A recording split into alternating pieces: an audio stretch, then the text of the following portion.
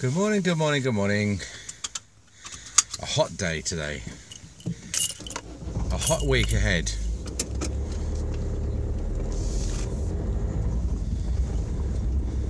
I'm going to drive down to Lyme Regis this weekend to uh, stay in my brother-in-law's hotel. Apparently there's something going on in Lyme Regis. But then there's there's something going on everywhere basically. They've got the Frencher in Sandwich deal. The uh, there's a steam fair in Barham. There's the Preston School Fete, which is the only sort of sort of the de facto fete in the area, which has got to be known as the famous Preston School Fete. That's how they advertise themselves now up and down the British Isles. We're organising outdoor events in the brief period that we have to do so. So it's those, you know, these are sort of the days where you think, oh, well, I used to work by the seaside and it was lovely.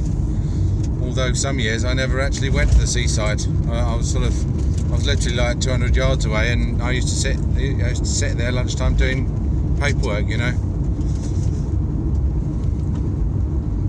I know it's tempting to uh, work to the max, but and I have been guilty of that. I'm sure, probably still am, but. Uh, dentistry is a job where you don't, uh, you know, you can if you can if you can accept a reduction in your standard of living, you can still, you know, you can work less than most people, I would say, and, and but enjoy a similar standard of living. You know, if you've only got to find your mortgage, haven't you, and your rates, and a few hundred quid a week for food. My surgery is um, being a new surgery. The uh, financially it's not very remunerative I would say. I think you're supposed to the average isn't it NHS and private take home pay before tax is supposed to be about 130,000 a year. And uh, I'm not earning anything not even a, not even a sizable fraction of that. But you know it gives me something to do in the day. And uh, it's how can I put it? You know, I mean, I'm employing, I'm, I'm, giving quite a few people jobs, and I think doing quite a bit of good in the medical uh, side of things. I had a patient in recently, had an absolutely typical, came in with a bag of dentures, uh, mainly uh, acrylic partial uppers, and and the two bridges that she'd had, which had failed before she'd needed the dentures, and the crowns that had snapped off at gum level because uh, the teeth were now overloaded and uh, oh she had a she had a litany a litany of problems. Clicking jaw uh, on uh, long-term chemotherapy following a recent operation felt that her face had changed shape, loss of muscle tone, loss of loss of I don't know, loss of life, you know, loss of youth, loss of youth. That was her problem, and uh, felt that she needed to see a consultant, but it was too late. And, a large and and what you know what's slightly more worrying a long list of things that her previous dentist had done wrong which had caused problems. Um, so it's very difficult to know what to do with a patient like that you know? She got uh, they they'd uh, she'd had a quite a, good a well root, treated upper left three which had been uh, stopped up with amalgam at root level, presumably to preserve the bone. So they've done that right, but then then they made these absolute rubbish plastic dentures over the top, you know, which he said were too tight and blamed on the loss of another tooth. So she thought about going abroad to have her teeth done. She was so desperate, you know, she was she needed listening to, so I listened to her for half an hour. And then there's then then you've got the problem of what to do about it, haven't you? I mean, it's so tempting just to say, well, you know, I don't think I can help. And you don't have to say that in a sort of a nasty way. You can say, no, you know, you obviously need specialists. You're right, you need to see a consultant. You're a specialist case. Know, I'm sorry, I don't think I can come up with a, a solution for you. Or, you know, but then you'd have to. Then what do you do? You can't. There are no specialist restorative consultants in anywhere near me. I can't. Uh, she's not going to go up to Kings or somewhere see Martin Kelleher or whatever the arrangement is these days. You know, I am the specialist. Rest- I am.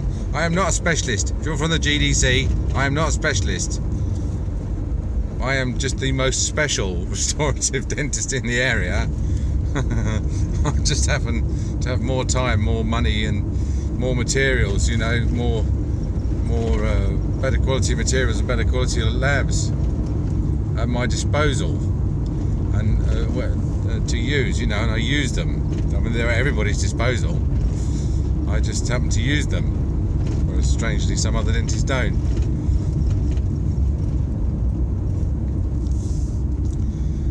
So anyway, I've uh, also, you know, again, like, like my guy, the contract killer guy, who wouldn't take a goodie bag the first time he saw me, but then the second time he sort of thawed a bit and actually at least did take a goodie bag on that occasion. She's another strange one, you know, where I you know stained her teeth up and said, right, let's have a look and see how you're doing with your brushing.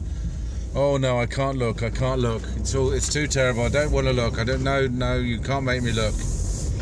You know, I'm like, okay, I don't mind. I mean, I'll have a look. But what do you do with a patient who is sort of disassociated themselves from their teeth to the extent that they won't even look in their mouth. I mean, what cooperation can you expect from that patient? What, you know, how, to what extent are they going to be involved in in their treatment and their treatment plan if they can't even bring themselves to think about their teeth or look at their teeth? And what chances of success have you got if your treatment plan, you know, you, you could go the other way. I mean, basically, what I've done is I've I've done what I would have done. I've treated her as a technical problem and given her a technical solution, which is two post crowns, a posterior crown, and uh, you know, all with parallel parallel sides and a cobalt chrome upper.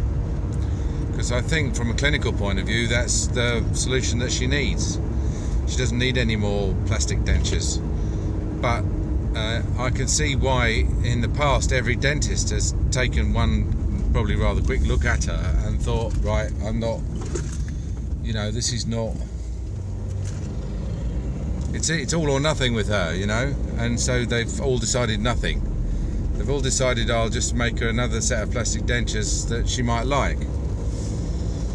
And of course, you know, the problem with making cheap plastic dentures is that they are, you know, for, for every 10 you make, one will be an absolute disaster.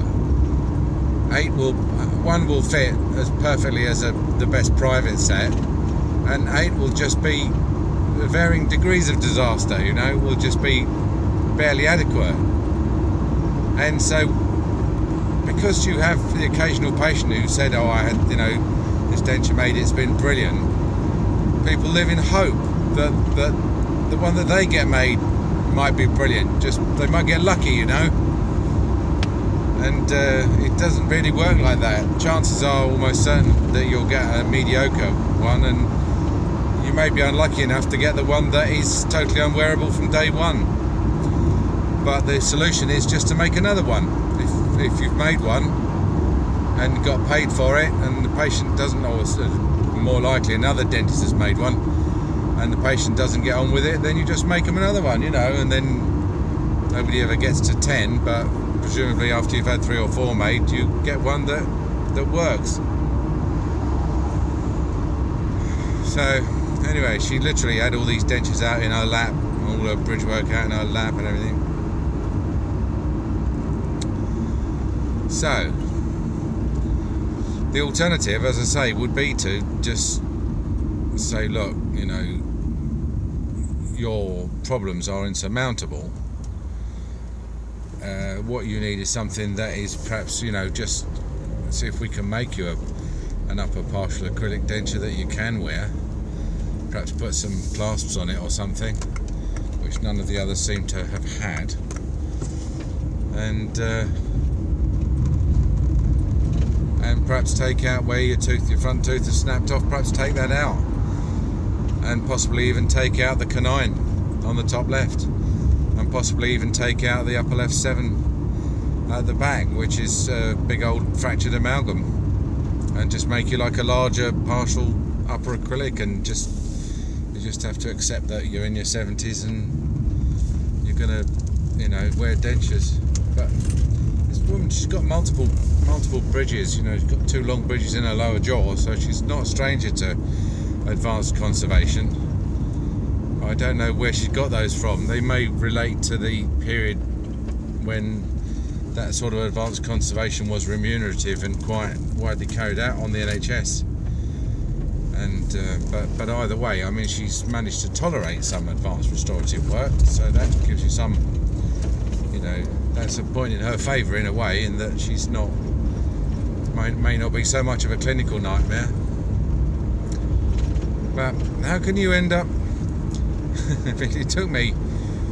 It took me probably 45 minutes to have a chat with her, get to the bottom of her as a person, um, take the X-rays that she needed of the roots.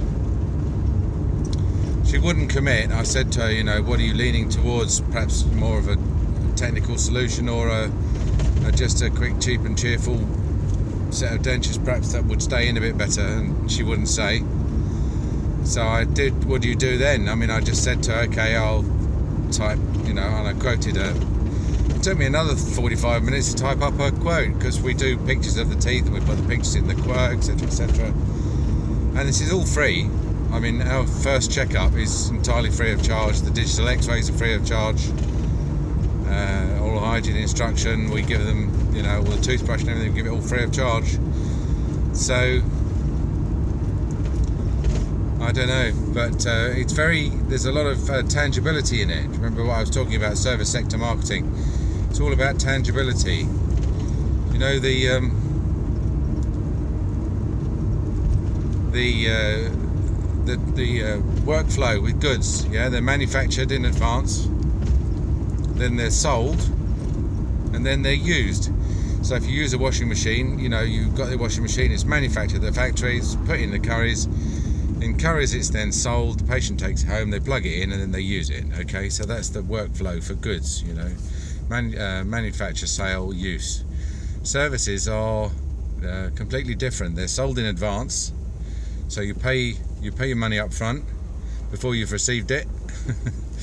you uh, and then the service is usually uh, delivered at the same time as it's consumed. So, uh, take a cinema, trip to the cinema for example. Buy your ticket at the box office. You haven't seen the film, so you don't know what you're paying for. Could be good, could be rubbish. You. Uh,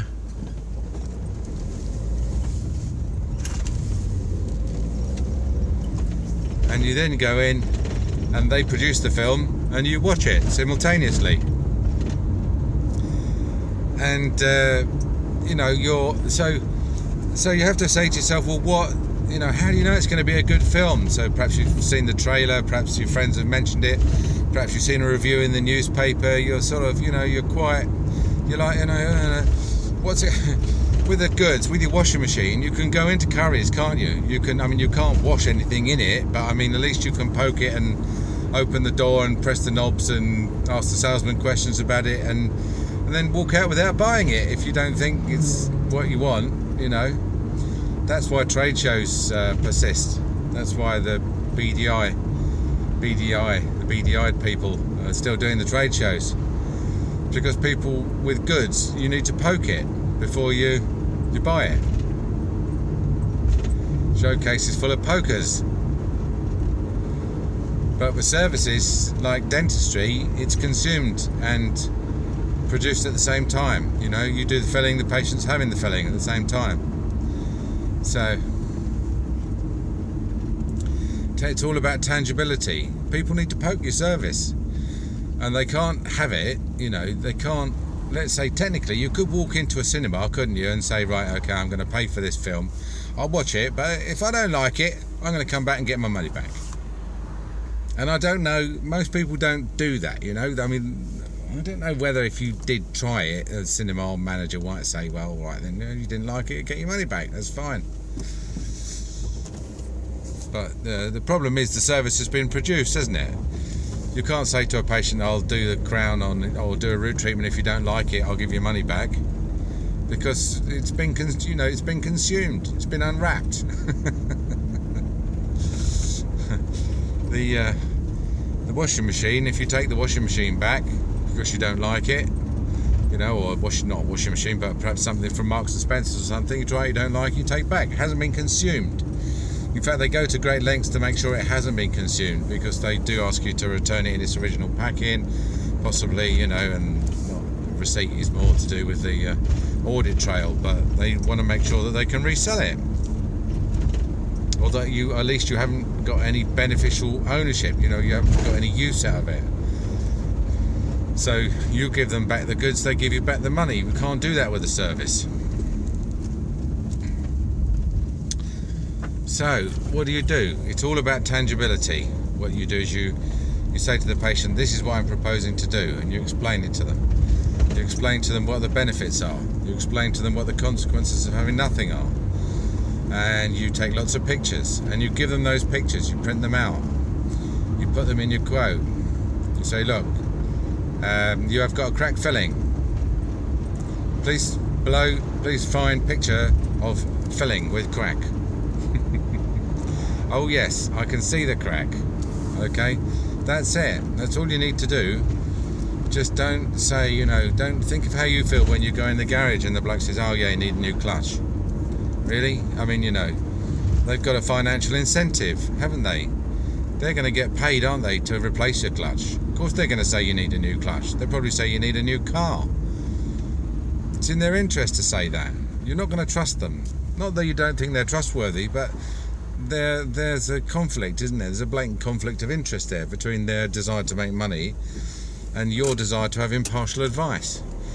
So by taking pictures and putting them in your quotes, you're you are you're saying to the patient, I am eliminating my conflict of interest in giving you this advice. You can see this advice is unbiased and not at all guided by my my desire to earn money from carrying out this repair. Because it is you know I'm not I am not inventing or exaggerating this repair. This is the problem. You can see it yourself. You can make your own valid judgments about whether or not the tooth is cracked whether or not it needs to be repaired. The question then becomes do, do they ask me to repair it or do they just ask someone else to repair it someone needs to repair it and 100 times out of 100 they're going to ask the person who the honest person who drew it to their attention and made sure that they understood what the problem was, who just happens to be sitting next to them at the time. So, tangibility is a marvelous thing in dentistry, and once you get the hang of it, you'll get a whiteboard set up, and so you can draw diagrams for people, and you've got bits of paper everywhere and pens. Never really ever done a root treatment without drawing a picture of the root of the tooth, and you know, people don't understand. You think you assume you say, "Oh, you're going to need a root treatment." Most people, you might as well say you're going to need a, you know, Shillamanins. They don't know what a root treatment is. People don't know teeth are hollow. They don't know they can get infection inside teeth. And uh, you have to you have to have the old metaphors handy. You know, but sometimes the best metaphors come from the patients. I always used to say uh, with a root treatment, you know, we need to, it's hollow, there's infection inside, it's going up inside the roots, it eventually it'll come out in your face, make your face swell up. We need to clean out the inside of the tooth. fill it up with antiseptic polyfiller. Oh, how do you do that? Well, we stick a load of um, um, pipe cleaners up it, clean it out, and then fill it up with antiseptic polyfiller. And one bloke said to me, I know. He said, "Oh yeah, a friend of mine had that done." He said, "Like you give the tooth a good rodding, a good rodding." He said, just like a drain, a drain analogy. I thought I don't not probably one of my favourite analogies, drains, but yeah, that's that. I said, "Yeah, that's it. Yeah, that's exactly what we do. We get our rods out and we go up the drain, we go up the roots, and then uh, then we fill it all up." he said, "Oh, like you know," he's all like, "Oh, well, why didn't you say so?" Um, Yeah, intraoral cameras, brilliant. Not, not in. It's difficult to show people in real time with an intraoral camera. Uh, you know, because you're like, you know, you're talking to them and they've got this camera in their mouth and they're going. Ah, ah, ah, so what I do is I take the pictures and then you, you store them and then you can later you can pull them up on the TV monitor or, or better still, um, uh, print them out, or better even still, pull them up on the monitor and print them out. So you can show them the pictures in the surgery, and then when they go through to reception, you just give them a piece of paper and then say, "There we are. There's the pictures I just took. You know, take them home, stick them on the fridge." And and a lot of them, you know, say, oh, uh, but a lot of them, but they all take them. You know, they'll all take them. Whether they just, some of them probably found straight away, but. So uh, today's word is tangibility. Intraoral cameras, whiteboards, and analogies like rodding that people can understand. Okay, now I understand. It is time to go to work. I'll see you tomorrow. Have a nice day. Bye.